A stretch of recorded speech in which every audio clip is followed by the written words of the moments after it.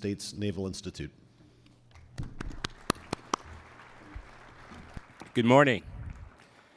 Well, on behalf of AFCEA International and Naval Institute, welcome you to our third and final day of West 2018.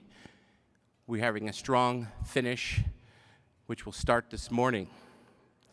It's my pleasure to introduce our morning keynote speaker. Secretary James F. Geurts was sworn in 5 December as Assistant Secretary of the Navy for Research, Development, and Acquisition. As the Department of the Navy's Acquisition Executive, he has oversight of an annual budget of $60 billion. He previously served as the acquisition executive for the Special Operations Command. At SOCOM, he was recognized for his innovation, leadership, and technological ingenuity. Prior to senior executive service, Secretary Geurts served in uniform as a career Air Force officer. He held engineering and program management leadership positions in numerous weapons systems programs to include intercontinental ballistic missiles, surveillance, tactical fighter aircraft, advanced avionics, stealth cruise missiles, training systems, and manned and unmanned special operations aircraft. Altogether, he has 30 years of total joint acquisition experience, and he served in acquisition leadership positions, including acquisition executive, program executive officer, program manager graduate of Lehigh, holds a Master in Electrical Engineering from Air Force Institute Technology, Wright-Patt, and a Master of National Security Resourcing from ICAF. Ladies and gentlemen, please join me in welcoming Assistant Secretary of the Navy, James Geurts.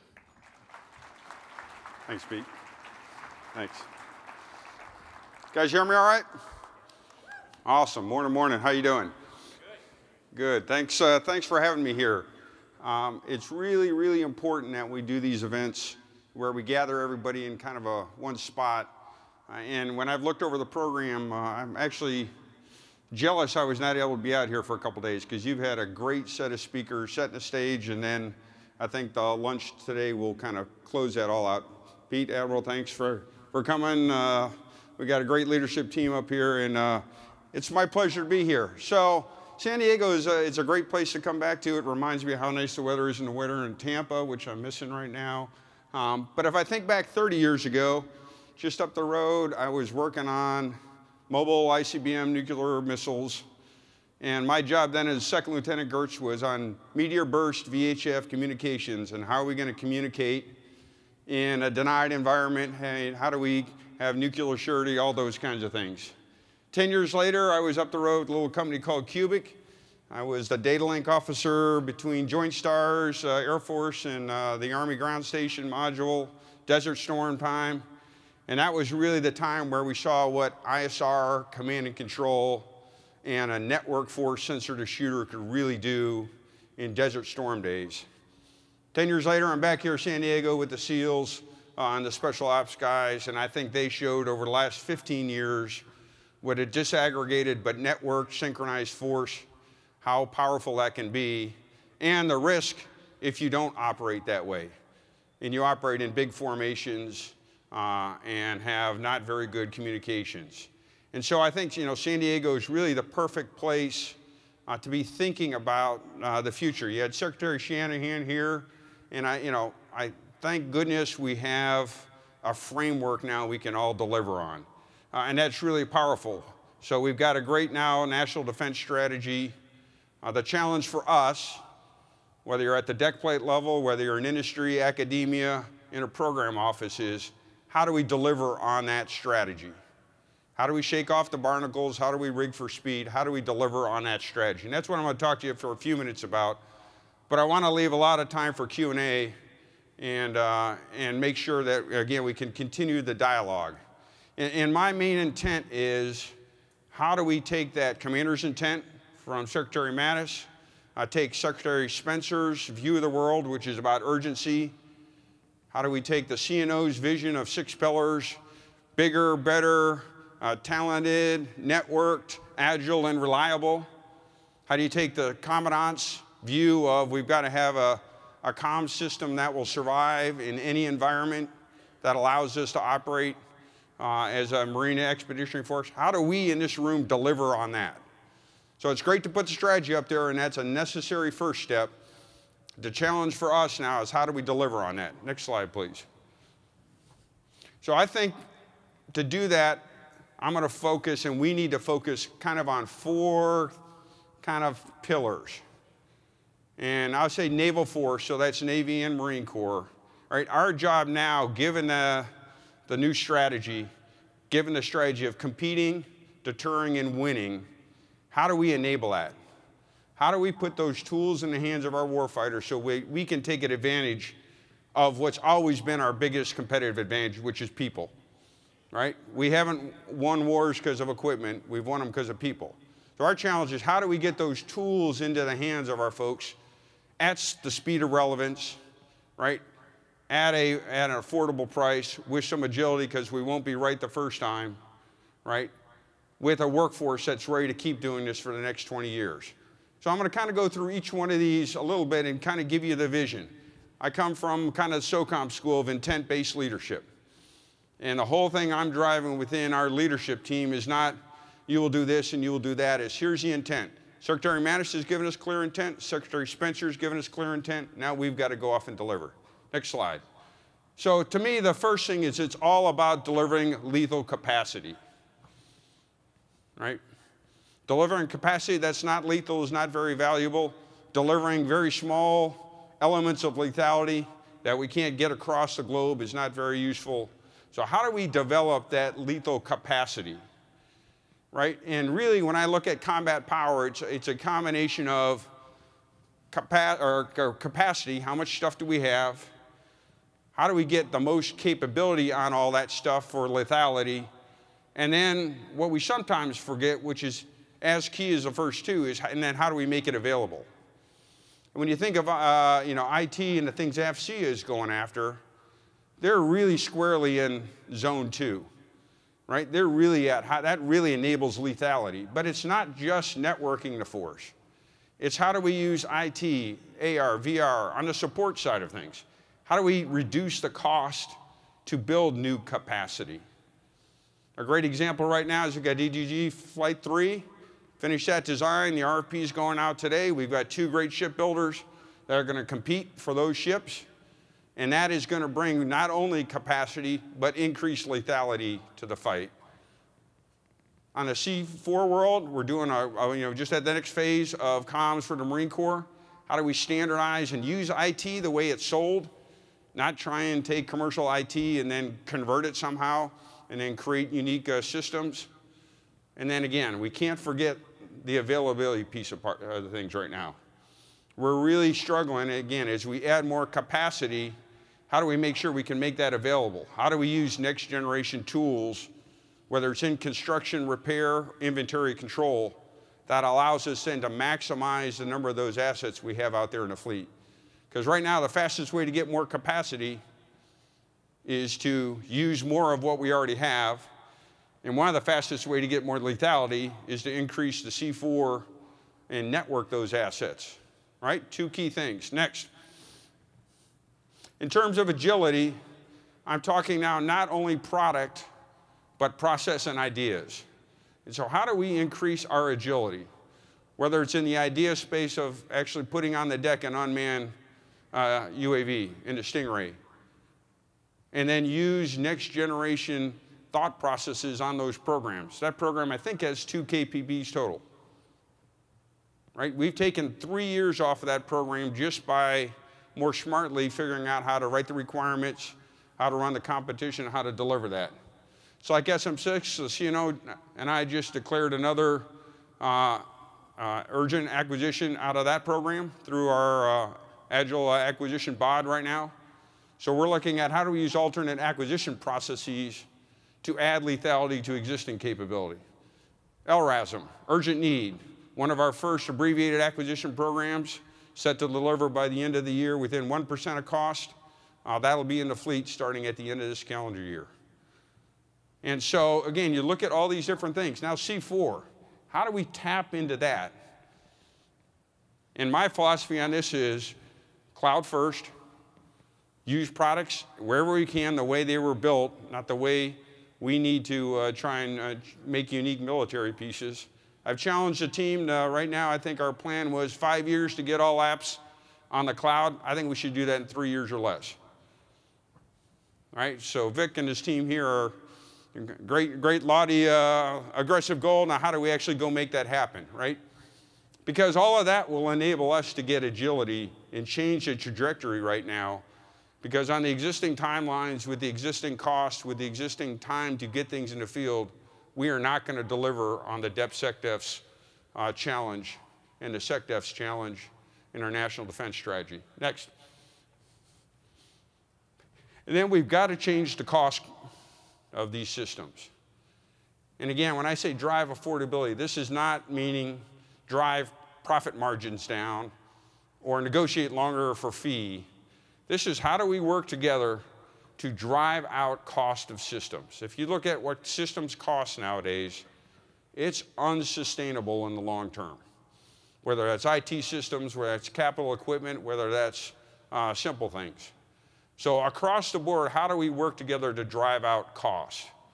How do we scrape the barnacles off the bureaucracy where I'm adding cost to you as a supplier? How do we scrape off the barnacles of processes so if you're in a fleet and you have an idea, we can get it serviced faster? How do you guys in industry scrape off the barnacles? Because you tend to be a reflection of us. So as we're streamlining, you guys are streamlining the same way. And then we actually value innovative approaches and innovative ideas in competitions and source selections. How do we leverage small business more? I think right now about 17% of Navy buys in small business. I think that's low. At SOCOM, we're in the 30%. Um, small business for us gives us great agility. It gives us uh, some great innovation. And then how do we put strategies together so that when we want to scale it up, we can link those up with some of the larger industry partners and then deliver at scale. Uh, in the IT world, this is, I think, particularly uh, uh, opportunistic time to really look at that. And part of it on our side, or amongst all of us, is how do we create architectures where I don't have to redo the entire architecture every time I want a new application or a new capability. So if we could all agree on those kind of architectures and standards, then we can both drive affordability, increase agility, and then field lethality in the way we're going to have to do again if we are going to compete to win. Next chart. And then finally, to me, it's all about talent. It's always been all about talent. And I'm not just talking government talent here, I'm talking talent of our entire enterprise. And it's probably not a surprise to many that we've got some aging workforce issues, we've got some recruiting issues, we've got some retention issues. So, how do we actually attract that next generation talent and free them up to operate at the speed they're used to operating now, in a way they're used to operating now? Not just train them on the way we did it 30 years ago, because that was a good idea 30 years ago. And to me, this is, this is our number one uh, challenge as we build a workforce to compete and win. How do we attract that talent and enable them to take us to the next generation. And that's something we're going to have to work together across the board. How do we leverage unique manning models where we can have industry come work with government for a year or two and then bounce back? Or have government work in industry for a couple years and understand we think we know what incentivizes industry. Few of us understand that equation. Some of the best things I've learned in life was when I was nine months as a small IT contractor waiting to go on, on active duty. I learned more in that nine months about how to be a better government program manager than any of my kind of defense acquisition unit classes. So again, how do we leverage, how do we use 3D printing to enable innovation at the deck plate level or out at the fire base? At SOCOM, we've had 3D printers forward with fire teams for six years now with amazing results. So, how do we, again, leverage that talent so that we can compete and win? Finally, next chart. Um, to me, it's, it's all a matter of urgency. To some degree, at least uh, in part of our force, we've had the luxury over the last 30 years of building exquisitely capable but very complex and timely weapon systems. And we've been fairly successful. We still have the best Navy and Marine Corps in the world, no doubt. But as you've heard in our national strategy, you probably heard from Secretary Shanahan, We are not at the pace that we will be that competitive and be at the place where we can win every war we fight and prevent the wars through strength as we need to if we don't change the trajectory.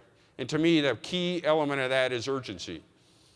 And if Secretary Spencer was here, that would be his, his key message to all of us. How do we act with a sense of urgency?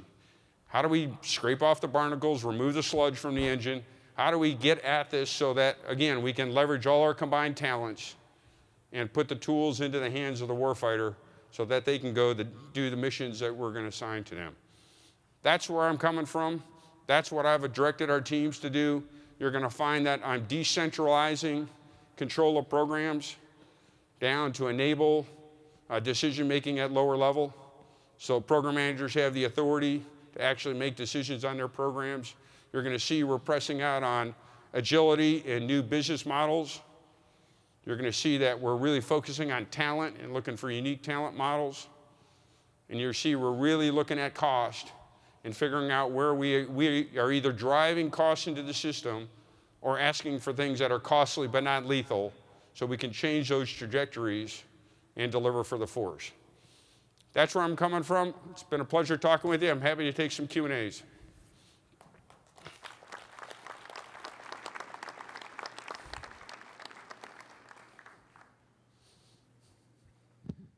Secretary, I'd just like to ask the first question, which is, in SOCOM, you had a very tight relationship between the operators who set requirements and the acquisition side with you of course, the scale in the Navy and the Marine Corps obviously much different. We've talked about this for years about an iterative back and forth trade between requirement and acquisition. Can you talk about how you're going to bring that culture to the naval realm? Sure, great question. Uh, and I think they'll come in, in, in several different forms. You know, a misnomer at SOCOM was we had unique authorities and unique waivers, and that was the way we could do things fast, and it absolutely wasn't that. But there was a lot of uh, decision making pressed down to lower levels uh, and speed of decision making, and then really closing the operator, the acquirer, and the technologist uh, more, more closely together. I think you're going to see one of the, the key things we're working on is creating a bunch of different ways to acquire things. So rather than acquire everything the, as we would acquire an aircraft carrier. You know, for IT, that acquisition model is completely different. For a piece of off-the-shelf gear, maybe for Joe Schrader in the Marine Corps, that model is different. So where, you know, I think where we're really moved to is a portfolio approach. Some things take a long time, and they should take a long time because we're going to have them around for 40 or 50 years. But that doesn't mean every piece of gear on that ship needs to be built for 50 years. And so how do we then kind of get that speed up? And then the other piece is we focus a lot on the acquisition timeline. There's a pretty healthy funding timeline, pretty healthy requirements timeline, and then a pretty healthy fielding and training timeline. And so the other piece is as we drive that distance closer, you can start moving those more parallel. So the key to me of having an operator involved in the acquisition isn't as much that the thing we acquire will be better. It's that they can be training and building tactics and be ready to use that thing more quickly than if we build it in a vacuum and then just kind of drop it in. Uh, and then the CNO and the Commandant and I are working on this accelerated acquisition board of directors where we will look at something like we just did with the SM6 and we will kind of at the table do the requirements, set the parameters, give the acquisition team the go light, and then launch. And then again, we'll squeeze that in for, for some things. So I think that's some of the ways we'll get after this. Sir. Mr. Secretary, uh, thank you for your comments. Kurt Warden, Novum Power Solutions. You articulated in your comments uh, very well uh, your belief in innovation and, and specifically to drive innovation to drive out uh, or drive affordability. So typically innovation involves change. Uh, change involves risk.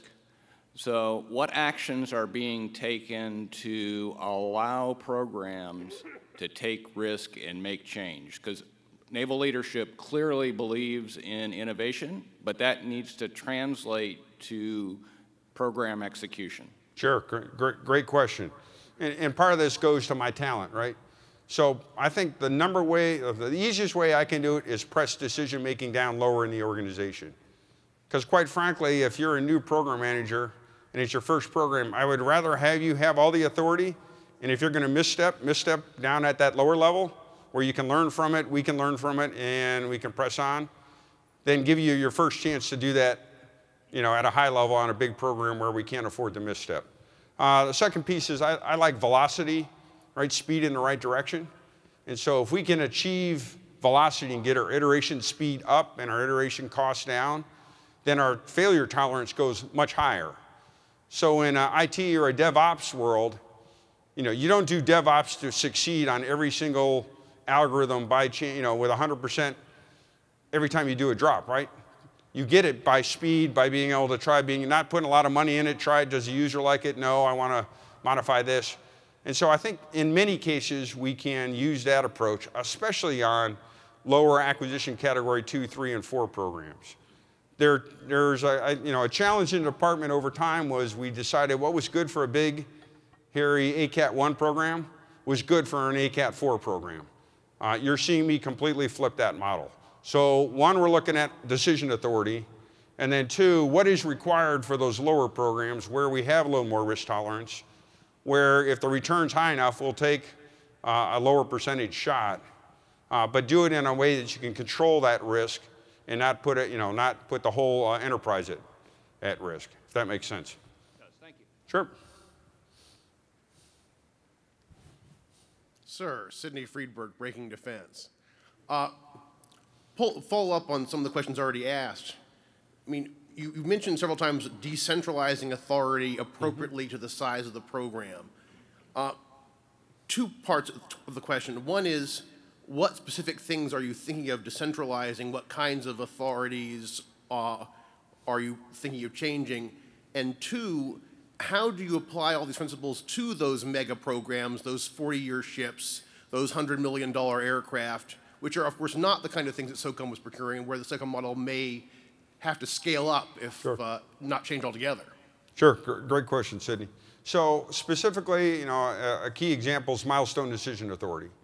So the decision to uh, allow a program to move to the next phase.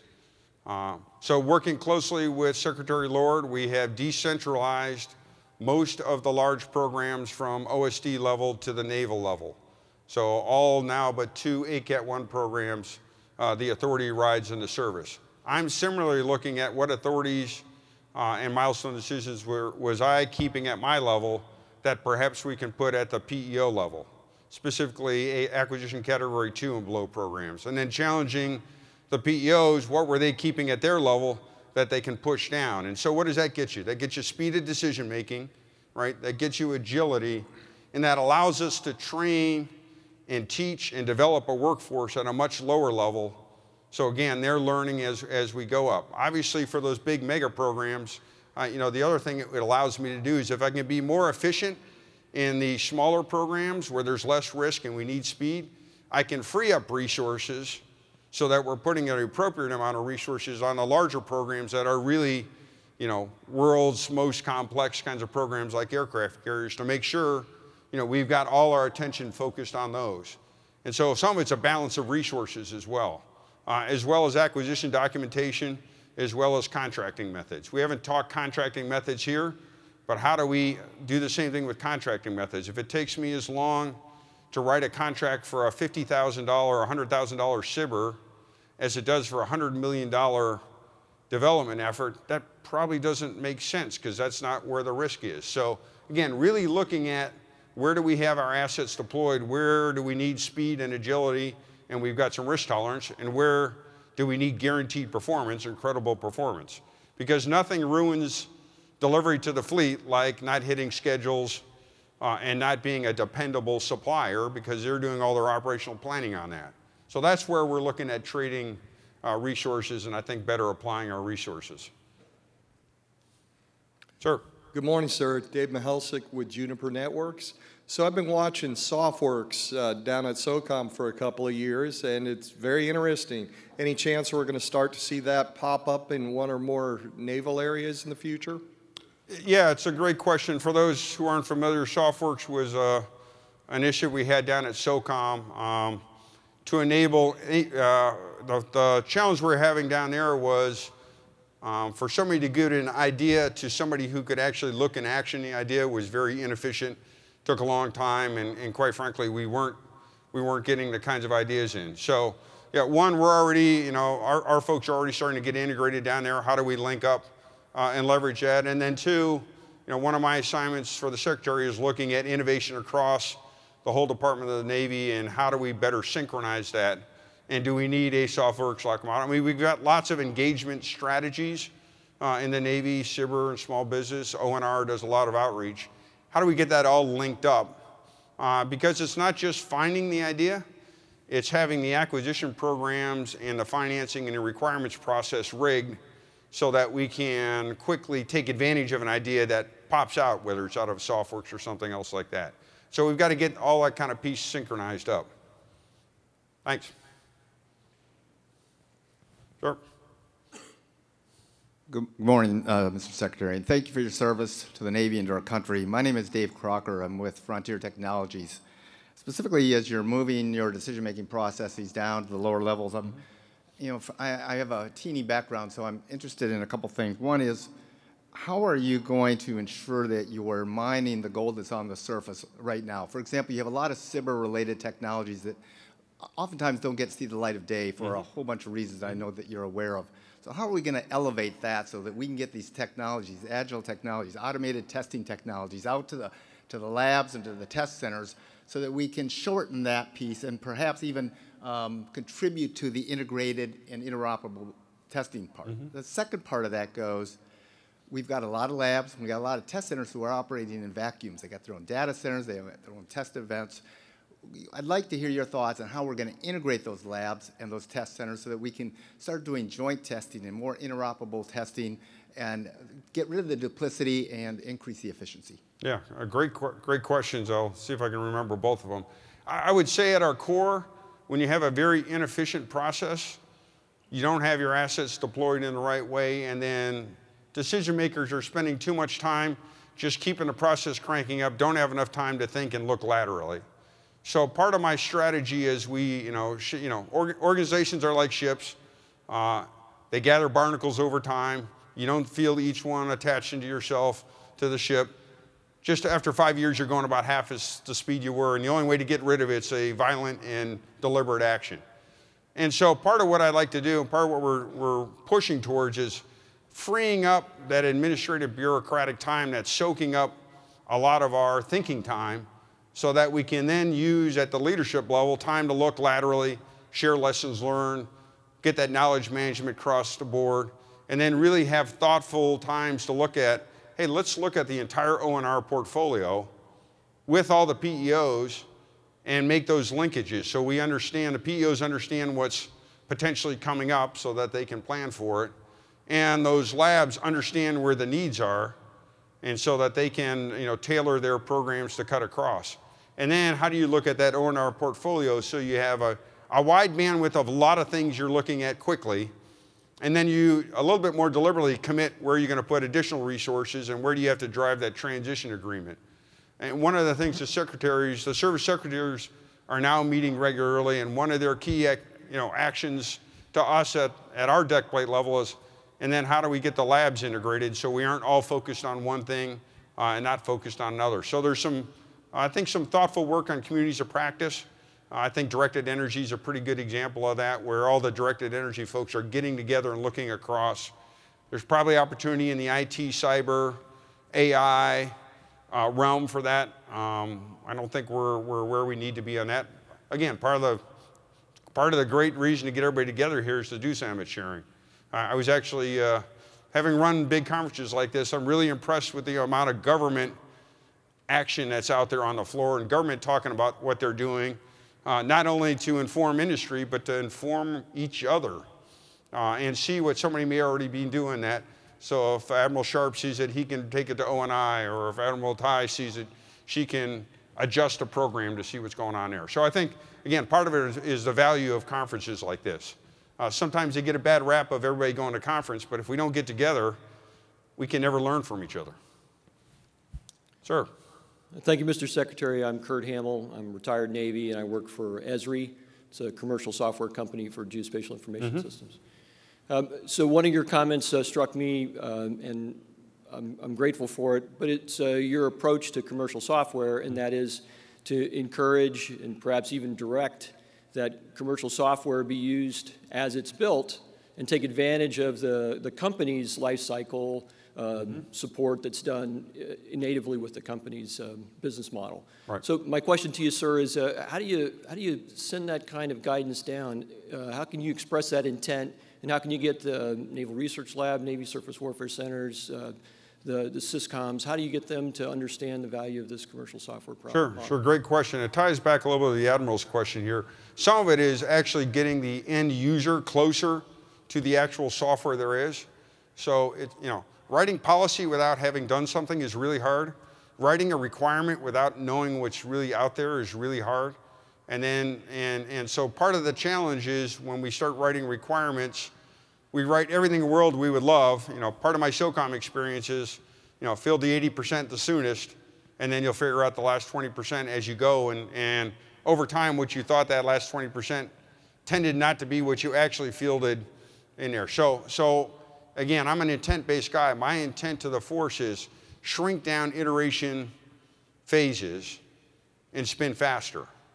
Uh, and I think our collective challenge, and I'm certainly one for the N2, N6s. that's all great, then how do we have an IA infrastructure that can keep up with that pace so that we can certify those systems and we don't unknowingly create vulnerabilities or, or interoperability challenges because we're spinning in the commercial products that quickly. And so, so again, a great opportunity for industry to help us on what are open architecture standards we need, what are, you know, what are practices we need, and then how do we get to the point where, hey, every night I should be able to spin in a new app. But if it takes me four months to cyber certify that, I'll never keep up with the appetite. And so that's where, again, another area where we could really use some help, I think, across the government. Because my goal, again, is wherever we can, we should use it as it's sold. Our purpose may be different, but the more we try and modify what already exists, the longer the timelines are, the longer the, the bigger the costs are, uh, and, and we're not going to get there with that trajectory. Thank you. Thanks, sir. Sir. Yes, sir, Mr. Secretary. My question is about uh, additional friction. Um, there's a perception, it may be wrong, that one of the reasons that SOCOM acquisition seemed so efficient was because some of those who add friction to the process, whether it's Congress, GAO, CBO, kind of gave SOCOM a pass in honor of the brave service of our soft forces, whereas they're very ready to crank out reports about how Navy acquisition has made this mistake and that mistake and this mistake. And uh, that sort of friction really affects the acquisition force's morale and also kind of soaks up the time of previous ASN RDAs in, in pushing back against it. I'd just like your comment about what you perceive, if you perceive that's a, a, a accurate perception or not. I guess as a SOCOM guy, I didn't perceive I had uh, that much of a free reign or, or all the passes. Um, but certainly there's a scale difference. Uh, but, but again, it's up to us to earn it, right? It's up to me to be your pulling guard to make holes to allow us to try, but it's up to us to earn it, right? And if we're not transparent, if we're not credible, if we aren't um, learning from our um, efforts, then, you know, again, my, my goal is I have no problem explaining what we're doing and, and trying to uh, show that if we increase the tempo, even if that causes a couple errors, that will, will vastly outweigh the perception that by slowing down, you're taking no risk. Because there is no, you know, there's a huge risk in not doing anything. And we don't necessarily have a good way of talking about that risk of not making a decision or risk of delaying decision or risk of keeping an old uh, piece of software on a network that's got a lot more inherent problems than maybe some performance problems on a new piece of software that's going to be inherently more secure. So, yeah, but again, that's I think what what you're paying me. I work for you guys is to is to get our collective credibility up. The other thing I would say is, you know, Congress notwithstanding, GAO notwithstanding, OSD notwithstanding, there's a lot of things we control within our own four walls. And so, you know, let's take those on first. Let's fix the things we've done to ourselves as an enterprise. Uh, and then proof's going to be in the pudding. I am a firm believer that will show better delivery, and then that will help us gain credibility outside the, uh, outside the walls. Um, so my first focus are things we can control. You know, in speaking with Congress, they, are, they have given us more authorities than we have figured out how to use smartly.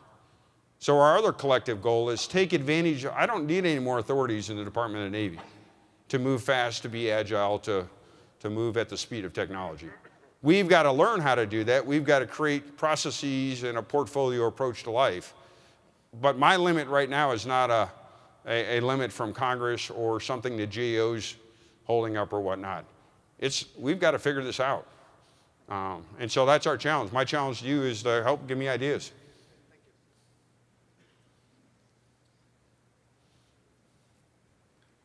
Morning, Mr. Secretary. Brick Morning. Nelson, I'm retired Navy and uh, with Northrop Grumman. So relating to your remarks on speed, and also we had CNO as our uh, San Diego Military Council speaker the other day, and he was giving us a good look at the, the six uh, focus areas. Did I get them right? Absolutely. All right. Uh, Of which one of the important ones was, we're not going to get all the ships we need right away, so allies and partners are important.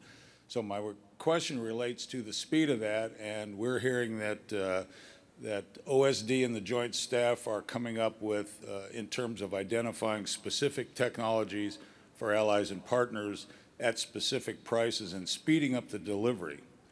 Uh, My question is, I'd just like to get your general thoughts on that, because obviously we're interested in exporting and sharing the technology, what you're feeling on how fast that's going to happen, and basically who the belly button is for the Navy. Yeah, great, great question. And, and it's one that Secretary Spencer is specifically focusing in on at the kind of strategic uh, level. So I think we all know in our hearts that our allies and partners are critical to success. Uh, Secretary uh, Mattis has recognized that in his comments. I think a couple things uh, where we've got opportunity. One is, I think, technology, specifically networking assets across and, and bridging some of those interoperability gaps uh, is going to be easier as we go forward rather than harder. And it used to be you had to get everybody on the same radio at the same time with the same revision. And you know, it's hard enough to do on our shipbuilding schedule. It's really hard to do on.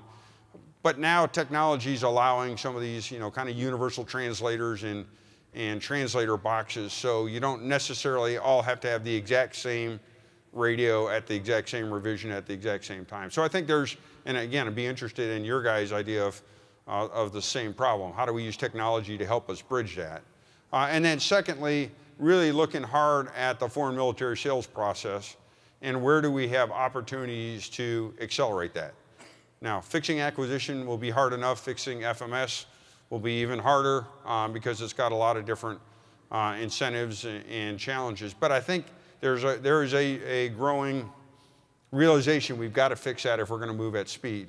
And, and we know how to do it. We've just got to, got to kind of get that will to do it. One way, you know, I've proposed looking at that is rather than wait for a request for us to send a response to get an LOA back, why don't we just publish pricing? And why don't we proactively say, if you want this capability, the U.S. is willing to offer it to you for this price at this time in this configuration, proactively, so that countries can consider that proactively versus kind of this reactive, we wait for them to ask us to tell them what they might want, that we can accept it.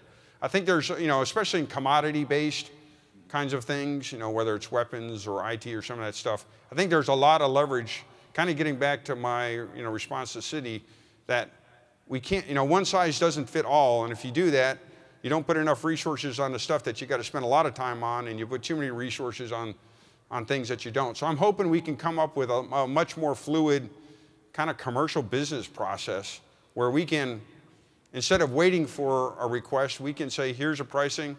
Industry knows when they've got capacity in the lines. Uh, we know, you know, what a reasonable price is and kind of go the other direction. I think that would also help. Within the Navy, uh, Navy IPO has got kind of sole lead for that. Uh, and so uh, he's, he and his team are, are, are, are, looking at that very closely. Obviously, working up through DSCA, uh, and I don't know if the DepSec have talked about it, but that's another area he's focusing on across the department. Great. Thank you. That's very helpful. Yeah, thank you. Morning, Mr. Secretary. All right, there you go. There you well, welcome to San Diego, and uh, thank you for the refreshing remarks, plus the uh, emails that you send out with your notes. Those are very uh, timely. My name is Bob Kaminsky, and I'm uh, with SPAWAR headquarters. You've addressed the hardware and software acquisition. There's a large percentage of services mm -hmm. acquisition as well. What type of reforms and how do you integrate the services acquisition strategies into the changes that you intend? Yeah, great question, and, and I should have hit on that because I view it, I view it the same. I mean, I think the Navy has been doing a fairly good job of driving down costs in, in service contracting. Uh, a lot of that is really figuring out how to get with the requiring agent early in the process. Uh, you know, everybody struggles with LPTA, uh, and, and I'm certainly a fan of best value competitions everywhere to include in service contracts.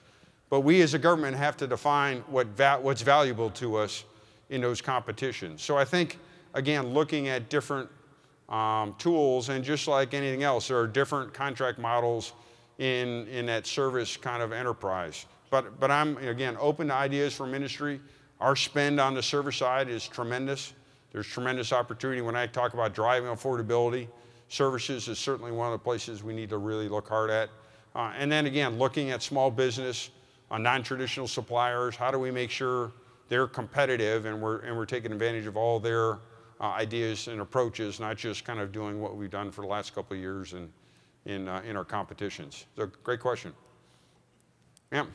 Morning, Vivienne Machi with National Defense Magazine. Sure. Um, you talked about how the Navy is working more closely, trying to work more closely with SOFWERX, but as you're talking about different acquisition strategies and working more closely with small businesses, are there any plans to actually develop a NavWorks considering AFWERX was founded by the Air Force last year. Mm-hmm. Just wondering if there are any plans for that. If so, what are those plans? If not, why is it not a why doesn't it make sense for the Navy? Thank you. Yeah, sure. Great question. And again, you, you probably know for me, I'm, I'm a huge fan of figuring out how to reduce those barriers and creating places where, again, we can get, where I see most innovation coming is when we get diverse folks together who may not have been the ones looking at the problem forever to, to kind of get after it.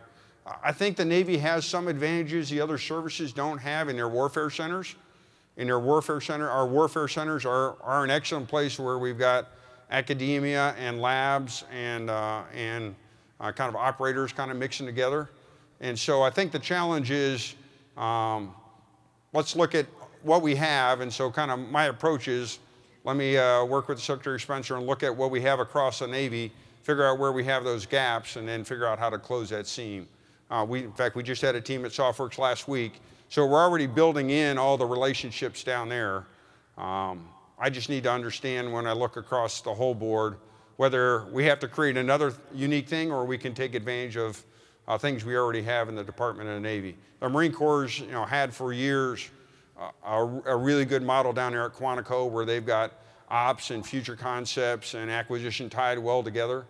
Uh, I know they've talked about, you know, maybe adding a little bit to that for non-traditional, but I would say the Marine Corps in, has been doing that for a long time and, and they're pretty well. Navy's got the warfare centers and some of the other pieces. Just got to make sure it makes sense uh, across the Department of the Navy. Great question.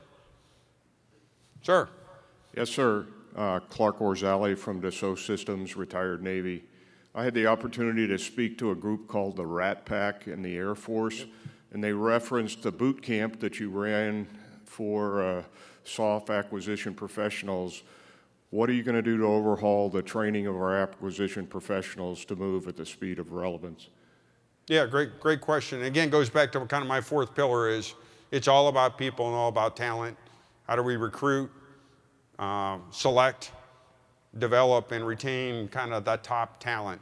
Uh, for, for others in the audience, we had a program at SOCOM where the Air Force would nominate uh, their top acquisition kind of junior force. We bring them to SOCOM for a couple months, teach them kind of the way we did business down there and sent them back. Uh, so we're looking at some of those same things in, uh, in the Department of Navy. That's part of, uh, we just had an acquisition summit, a workforce summit two weeks ago.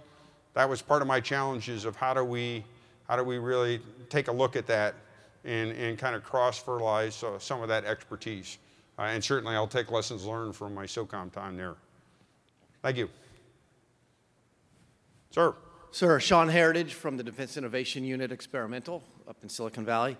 I loved your answer to the question about NavWorks. It's not necessarily about growing the innovation e ecosystem, it's about connecting it. Mm -hmm. uh, and that question was wonderful about how do we change the culture within the uh, acquisition professionals. What do you see as DIUX's role in the solution space? Yeah, great question. Again, an important unit there. Um, I think our biggest both challenge and opportunity is how do we synchronize? It's kind of like synchronizing new build, adding uh, capability to the fleet, and working availability. How do we synchronize idea discovery, whether it's discovering a non-traditional partner who's doing something and we want to link in with, or if it's a SBIR or something in the lab or something at SOFWERX, with a quick assessment, rapid prototyping, uh, check it out to make sure it, it makes sense, uh, that it's going to be relevant and lethal, and then be able to field it at scale. And we, I would say in past, have suffered a little bit of, of, of working each one of those in a little bit of a cylinder. So I think our greatest challenge and opportunity is um, creating acquisition programs that have baskets, catcher's mitts, whatever you want to call them, so they can capture ideas and innovations as they occur and making sure they're linked to all those different entities, DIUX or SOFWERX or whatever. And then on the backside, how do we not neglect uh, through life support? I was just down at one of the shipyards Tuesday and some really exciting opportunities to incorporate uh, AR and VR into shipbuilding and ship repair. And, and, you know, guys are still carrying around, you know, feet's worth of drawings. And, you know, that's, and that's really hard, especially in the talent game, as we bring on new talent in the yards, how do we, how do we take it? So, so I think the real challenge is, again, back to the question of if I can get rid of administrative burden and inefficient processes that frees up time for us to think and look across and plan, then I think we can better take advantage of the great work that's going on at DIUX and, and whatnot. And, and then the, the other piece I would just caution everybody, don't just think of prototyping as prototyping a thing. So I think a lot of what's going on out there are great prototyping processes. You know, I want to push ONR to prototype new contracting models for us because I can afford to take a little more risk there than perhaps I could on a large major capital ship or a large aircraft program. And so as we work together here, figuring out how to prototype processes and ideas and linkages is just as important as prototyping widgets. Any more?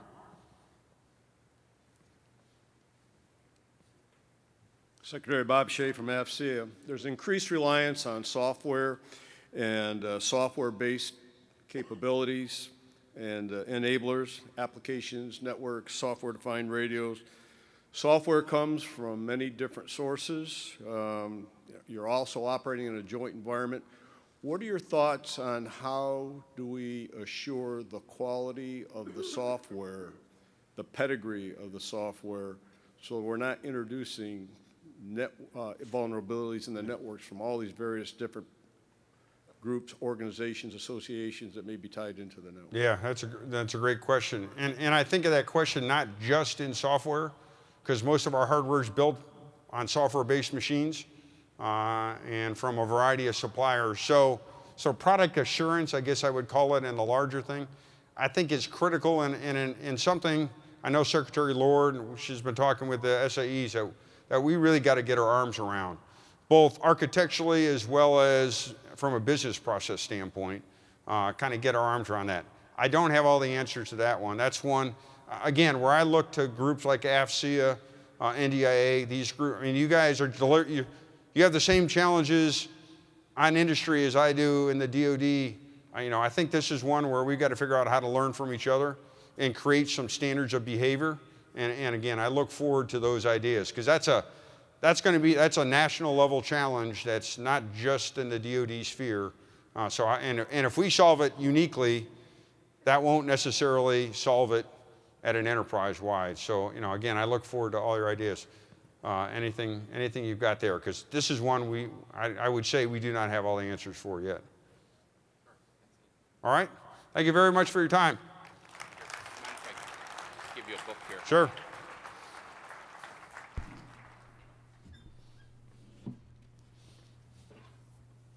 Mr. Secretary, we know your time is precious. We appreciate you sharing your firsthand thoughts with us today.